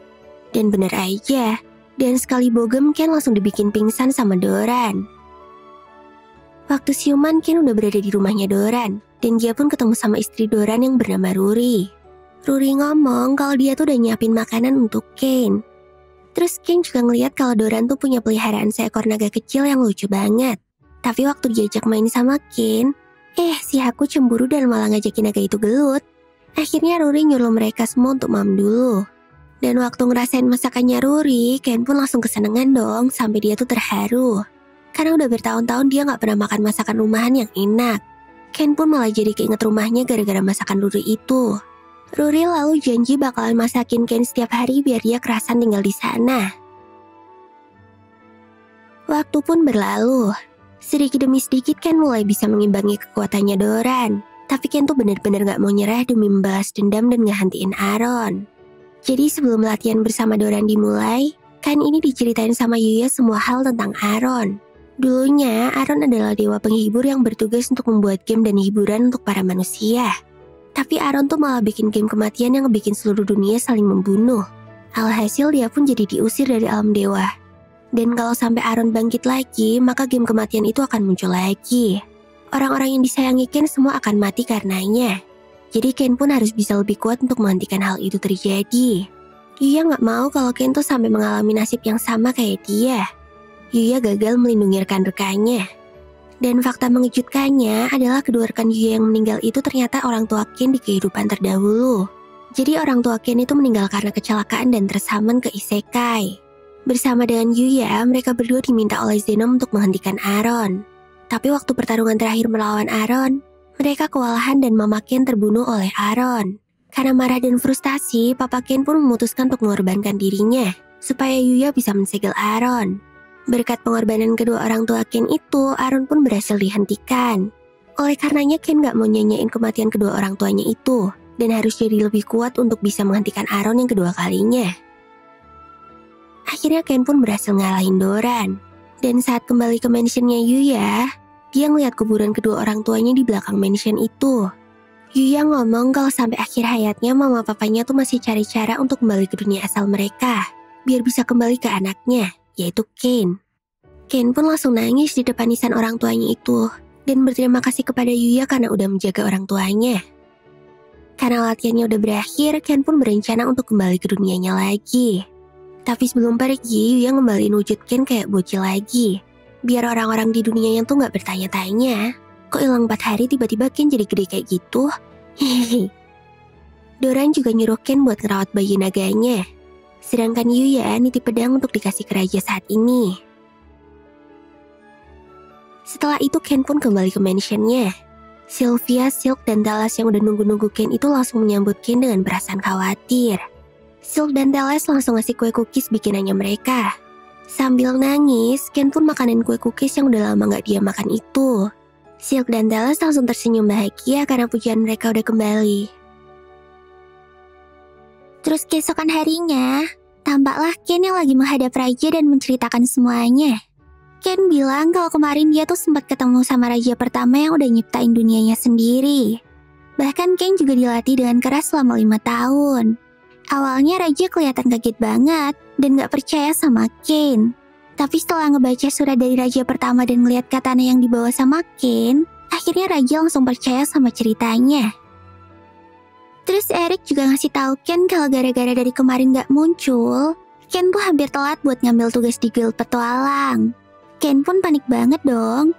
Alhasil tanpa pikir panjang, Ken langsung buru-buru pergi ke guild buat ngambil misinya. Sesampainya di sana, Ken segera nemuin Guildmaster buat minta maaf. Tapi dia langsung paham sama kesibukannya Ken. Kemudian setelah basa-basi, Ken langsung dikasih misi buat nangkep 10 bandit yang meresahkan. Akhirnya Ken langsung jalanin misinya saat itu juga. Sesampainya di lokasi, Ken mutusin buat langsung pakai skill terbangnya biar lebih cepat.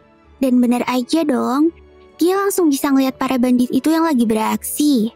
Rupanya mereka lagi berusaha buat ngerampok rombongannya Om Sabinos ayahnya Parma. Tapi waktu Ken turun buat ngebantu, dia langsung kaget banget.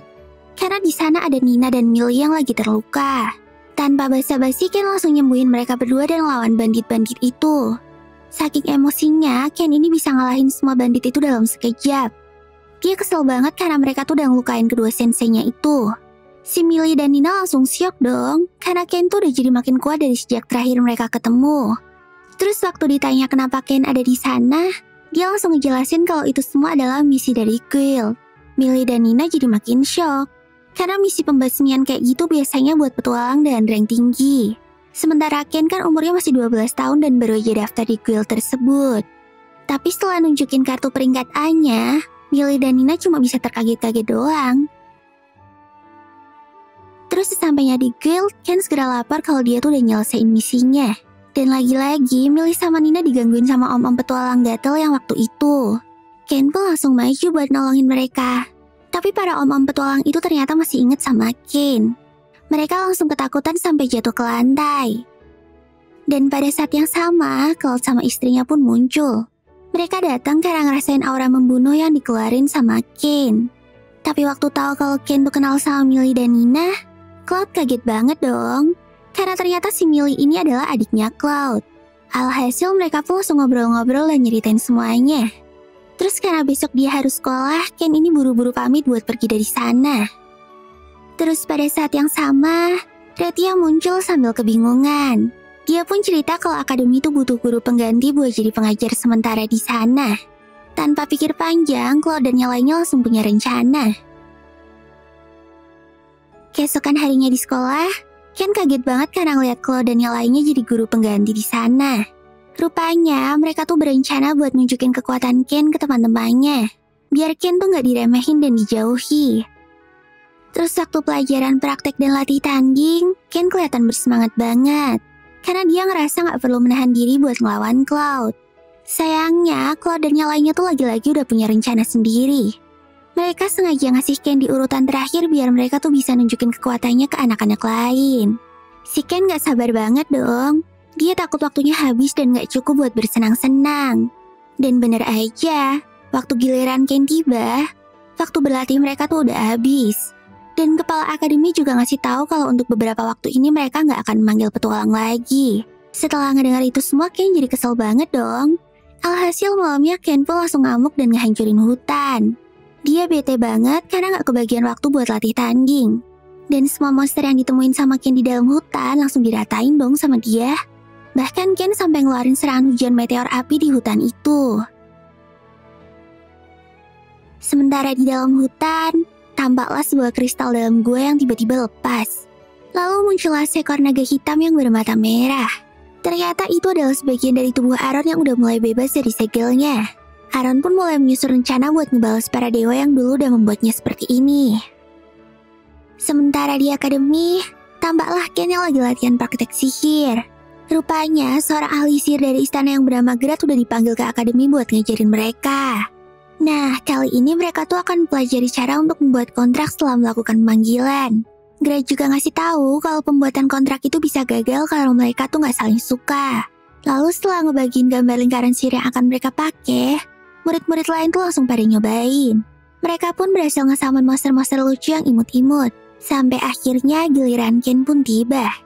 Tapi karena Gret masih belum tahu banget tentang Ken, dia tuh malah nyuruh Ken buat nyalurin semua mananya tanpa menahan diri. Jadi deh, dan Ken langsung ngeluarin semua kekuatannya. Dan jeng jeng jeng, muncullah seorang Raja Iblis di hadapan Ken. ya ampun astaga ini aku ngakak banget sih. Si Ken tuh langsung panik dong. Dia segera ngeluarin cahaya yang menyilaukan buat ngebutain mata orang-orang. Terus si Raja Iblis itu pun ngecek statusnya Ken dan mulai ngedeketin Ken pakai wajah sadisnya. Si Ken langsung siap-siap dong. Dia juga ngeluarin pedangnya buat nebas si Raja Iblis itu. Tapi bukannya ngajakin gelut, si Raja Iblis itu tuh malah langsung sujud dan nyembah-nyembah Ken. Ternyata dia takut banget setelah tahu dan ngebaca status aslinya Ken yang merupakan manusia pilihan dewa. Raja Iblis itu mohon-mohon biar nggak dibunuh. Bahkan si Raja Iblis yang bernama Seth itu juga maksain Ken buat bikin kontrak sama dia. Seth ngomong kalau dia tuh bisa melakukan apa pun untuk Ken. Bahkan Seth mampu menghancurkan sebuah kerajaan kalau itu adalah perintah dari Ken. Pokoknya Seth rela ngapain aja deh asalkan itu Ken yang nyuruh. Hehehe. Alhasil karena Ken takut ketahuan udah ngesamen Raja Iblis, dia pun nerima kontraknya Seth dan nyuruh dia buat segera pergi. Tapi saat cahaya flash milik Ken hilang, si Gret langsung nyamperin Ken dan nanyain dia. Ternyata Gret sempat ngeliat si Raja Iblis yang tadi disamen sama Ken. Untungnya Ken pintar ngeles dan berusaha buat nenangin Gret. Tapi bener aja dong, gak lama setelah itu Ken langsung dipanggil menghadap Raja. Ternyata Gret langsung laporan ke Raja kalau Ken udah ngesamen Raja Iblis. Karena nggak bisa bohong lagi, akhirnya Ken pun mengakui perbuatannya. Ken langsung ngejelasin kalau dia tuh udah bikin kontrak sama Seth. Jadi Raja dan nyalanya tuh nggak perlu cemas lagi, karena Ken gak bakalan aneh-aneh.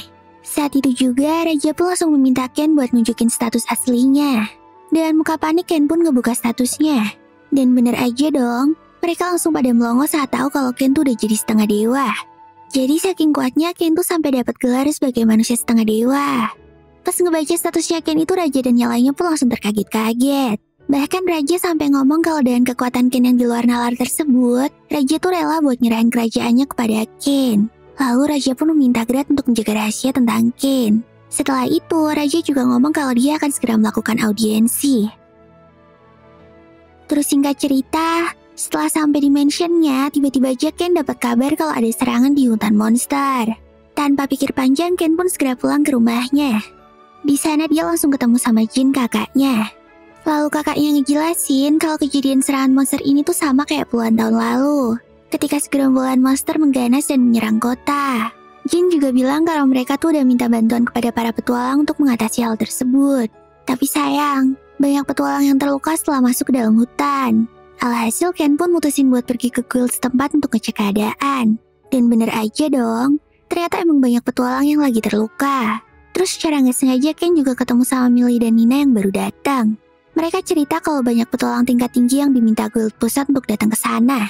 Akhirnya Ken pun langsung ambil tindakan. Dia segera pergi ke hutan buat menyelidikinya. Ken juga ngesaman Haku dan Jin untuk menemaninya. Di dalam hutan itu rasanya tuh aneh banget. Banyak monster buas yang semakin kuat. Tapi entah kenapa Ken ngerasain hal yang janggal waktu ngegunain skill deteksinya. Akhirnya Ken minta Haku dan Jin buat ikut ngelacak keadaan sekitar. Tapi karena kurang puas, Ken pun mutusin buat ngesaman Seth dan minta bantuannya. Saat itu juga Seth langsung rasain aura kuat yang ada di dalam hutan. Seth ngomong kalau di dalam hutan itu ada banyak monster dengan level tinggi yang berkumpul. Dan jumlahnya tuh nggak normal banget. Alhasil karena panik, Ken pun meminta Seth buat menyelidiki lebih lanjut. Untuk itu Seth langsung ke bawahannya yang bernama Dalmatia. Dia adalah mantan jenderal iblis yang ahli buat menyelidiki sesuatu. Terus si Dalmatia pun nunjukin kekuatannya ke Ken. Tapi karena Ken geli banget buat ngeliat kemampuannya itu, dia pun meminta Dalmatia buat nggak menunjukkannya di depan Ken. Akhirnya sambil nunggu mereka menyelidiki, Ken mutusin buat balik ke kota dan ngabarin yang lainnya. Sesampainya di sana, Ken langsung ketemu sama Claude dan Lina yang baru datang. Mereka pun kaget saat melihat hasil buruan Ken. Ken ngomong kalau di dalam hutan tuh masih ada monster yang jauh lebih kuat lagi. Maka dari itu mereka harus lebih waspada. Sedangkan di tempat lain, Seth sama Dalmatia berhasil menyelidiki lebih dekat. Tapi sayangnya, Aaron mengetahui keberadaan mereka. Dia pun segera mengerahkan semua pasukan monsternya buat menyerang kota. Melihat situasi yang gawat banget itu, Seth pun ngajakin Dalmatia buat siap-siap bertempur. Sementara dia akan ke kota untuk ngabarin Ken. Benar aja dong, setelah Seth laporan ke Ken, Ken tuh langsung minta Claude dan yang lainnya untuk siap-siap dan ngabarin Jin kakaknya. Sementara Ken akan ke hutan bareng sama Seth buat menghadang monster-monster tersebut. Tapi sebelum Ken pergi, Tivana malah datang buat ikut ngebasmi monster. Ternyata dia dan para kesatria lain juga diutus Raja untuk ngebantu kota itu. Setelah tahu kalau Ken mau ke hutan sendirian, Tivana pun langsung maksain buat ikut.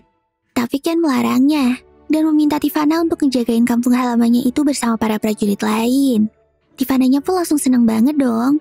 Dia bangga banget waktu dimintain Ken buat menolongnya. Sementara di dalam hutan, tampaklah Dalmatia yang lagi kesenangan waktu ngalahin monster-monster itu. Kayaknya dia tuh lagi nostalgia sama kemampuannya dulu. Dan gak lama setelah itu, Ken sama Seth pun muncul. Saat itu juga Ken langsung ngebakar monster-monster yang ada di sana pakai sirapinya. Terus tiba-tiba aja Ken ngerasain auranya Aaron di balik serbuan monster-monster itu. Si Aaron juga kayaknya udah siap buat menghadapi Ken dan yang lainnya. Dia pengen banget balas dendam sama pengikutnya para dewa. Akhirnya Seth pun nyuruh Ken buat langsung lawan bosnya aja. Sementara dia dan Dalmatia akan memanggil pasukan iblis buat mengatasi monster-monster tersebut. Ken pun setuju, tapi dia juga ngingetin Seth buat menahan diri agar hutannya tuh nggak rusak parah. Setelah itu Ken langsung pergi ke tengah hutan buat menemui sebagian diri Aaron yang udah bangkit. Sedangkan di kota, tampaklah para penduduk yang panik dan berusaha untuk mengungsi. Tivana juga ada di sana buat ngejagain kota itu. Terus, Nina ngegunain si deteksinya buat ngecek keadaan sekitar. Nina ngomong kalau tiap jumlah monsternya berkurang, mereka selalu kembali dan bertambah lagi. Millie jadi langsung khawatir dong. Dia pun mutusin buat ikut ke hutan dan nolongin Ken yang lagi bertarung lawan para monster itu. Awalnya Claude nggak ngebolehin, tapi akhirnya dia ngizinin dan mereka semua pun ikut pergi ke hutan buat ngebantuin Ken. Sementara itu, Seth ngesaman Pak Jenderal Iblis buat ngebantuin dia. Tapi pas tahu keadaannya, mereka semua kaget dong. Kok bisa-bisanya ada orang yang sanggup ngebikin kontrak sama Seth dan meminta bantuannya? Namun karena ceritanya panjang, Seth nggak pakai basa-basi lagi dan segera merintahin mereka untuk ngebasmi semua monster yang ada. Lalu Ken yang lagi otw menuju ke tempatnya Aaron juga ngebakar monster-monster yang dia jumpai pakai sihir apinya. Sampai tiba-tiba aja, serangan Ken itu dibalas sama serangan lain. Ken kaget dong, rupanya itu adalah Aaron yang masih dalam wujud naga hitamnya. Dia langsung mengenali Ken sebagai bawahan para dewa. Dan dengan kesal, Aaron berniat buat meluapkan amarahnya kepada Ken. Tapi Ken juga gak kalah keselnya. Dia emosi karena Aaron merintahin monster-monsternya buat menyerang penduduk. Akhirnya tanpa babi ibu, mereka pun langsung mulai adu kekuatan. Sayangnya sihir api Ken tuh gak mempan buat Aaron.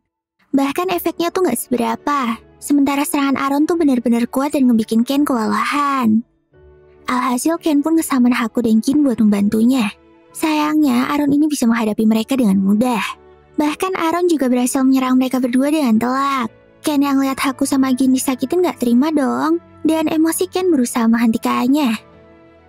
Sementara di tempat lain, Claude, Millie, dan yang lainnya mulai kewalahan juga buat menghadapi monster-monster itu. Parahnya lagi, si Nina dan Lina tuh udah gak sanggup untuk bertarung. Dan di tengah situasi yang genting itu, tiba-tiba Tivana datang buat nolongin mereka. Rupanya, Tivana sama pasukan kesatrianya itu ikut menyusul mereka buat bertarung di garis depan. Akhirnya dengan bantuan Tivana tersebut, Claude dan yang lainnya tuh jadi terselamatkan dan bisa kembali bertarung. Kembali ke tempat Ken. Waktu si Aaron yang lagi nyerang Haku sama Gin melihat matanya Ken, dia langsung keinget sama orang yang menyegelnya dulu. Karena marah banget, Aaron pun segera ngeluarin ultinya buat ngalahin Ken. Untungnya kekuatan Ken juga gak kaleng-kaleng. Sambil nginget orang-orang yang pengen dia lindungin, Ken jadi punya kekuatan untuk ngalahin Aaron. Saat itu juga Ken segera ngeluarin Seer Overload-nya. Dia ngeluarin mantra Sin Sanctuary buat ngalahin Aaron. Rupanya itu adalah sihir tingkat kaisar yang dulu juga dipakai sama orang tuanya buat menyegel Aaron. Terus setelah adu sihir dengan cukup sengit, Akhirnya Ken berhasil ngalahin Aaron. Bahkan karena kekuatan sihir Ken yang benar-benar gede banget, serangan itu memunculkan cahaya terang sampai ke langit. Tivana dan yang lainnya juga ngeliat hal itu. Bahkan para penduduk di kota juga ikutan menyaksikannya. Mereka pun langsung berdoa dan berpikir kalau itu adalah perbuatan dewa yang mencoba menyelamatkan mereka. Sementara Ken yang masih ngeluarin kekuatannya itu tuh gak sadar kalau Aaron udah kalah. Bahkan dia masih lanjut ngejurus tanpa ngeliat ke depan. Sampai-sampai Jin sama Haku tuh ngingetin Ken buat berhenti. Begitu pula dengan Sed dan Dalmatia yang tiba-tiba muncul buat ngehentiin Ken. Mereka bilang kalau serangan Ken itu sangat mengerikan dan kejam. Ken bingung dong, dia nggak paham sama maksud mereka. Tapi setelah ngeliat bekas serangan sihirnya Ken, dia langsung sadar kalau serangan yang dikeluarin barusan tuh bener-bener overpower. Bahkan si Aaron juga sampai hilang dan gak bersisa. Seth pun ngelapor kalau setelah Aaron kalah, semua monster yang menyerang mereka tuh mundur dan kabur ke hutan. Warga kota juga berhasil selamat dan terlindungi. Ken pun kesenangan dong. Dia langsung balik buat menemui teman-temannya. Millie, Rivana, dan yang lainnya juga langsung menyambut Ken dengan gembira. Terus keesokan harinya, Ken dipanggil sama Raja buat laporan. Dia pun cerita kalau cahaya terang di langit itu adalah ulahnya. Ken bilang kalau dia tuh ngegunain sihir tingkat kaisar buat ngalahin si Black Dragon Aaron. Raja dan yang lainnya langsung kaget. Dia nggak nyangka kalau Ken udah bisa menggunakan sihir tersebut.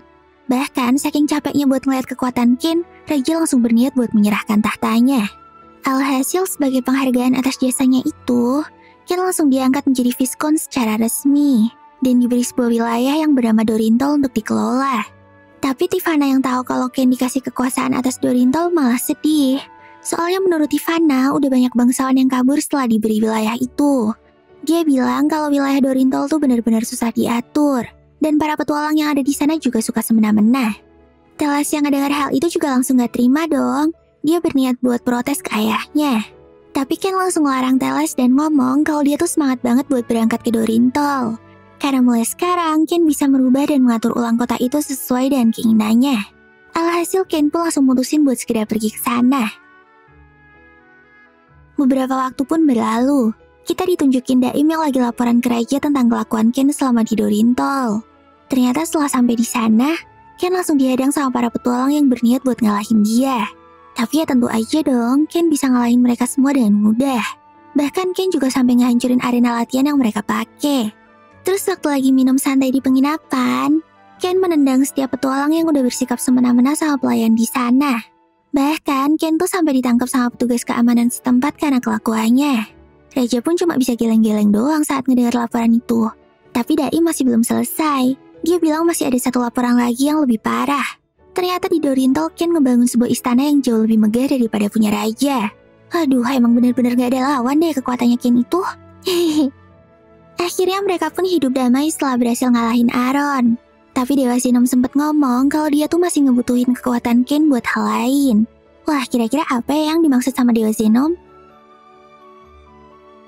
Nah, inilah episode terakhir dari anime Tensei Kisoku no Isekai Boken Roku. Gimana nih menurut kalian? Seru banget kan? Wah, kira-kira bakalan ada lanjutannya nggak ya? Penasaran kan? Makanya pantengin terus channel Kucing Rebang Junior dan jangan lupa buat subscribe, like, dan komen di video ini ya. Kalian juga bisa follow sosmed aku dan channel-channelku yang lain. Linknya udah aku taruh di deskripsi.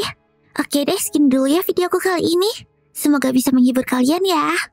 Ja, mata nih. Sampai jumpa di video selanjutnya. Bye-bye.